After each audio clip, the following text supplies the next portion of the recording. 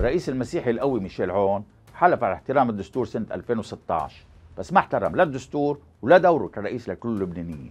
فشخ على الدستور وعلى صلاحيات رؤساء الحكومات وسلم البلد لحزب الله.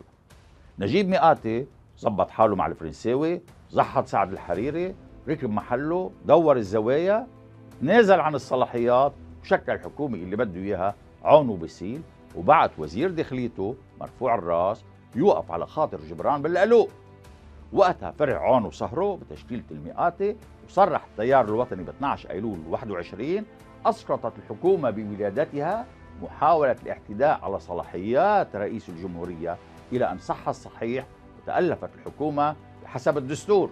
برافو مبروك.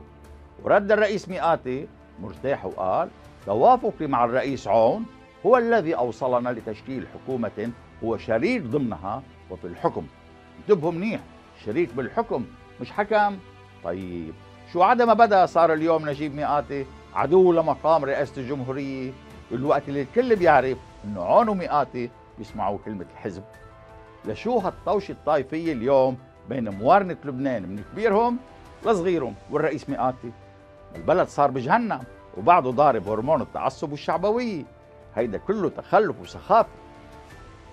ملاحظة وقت اللي كانوا عون والمئاتي دفنينه سوا كتبت دراسة من 30 صفحة بعنوان هل يؤكد دولته أنه شريك فخامته في انقلابه على الدستور والنظام البرلماني؟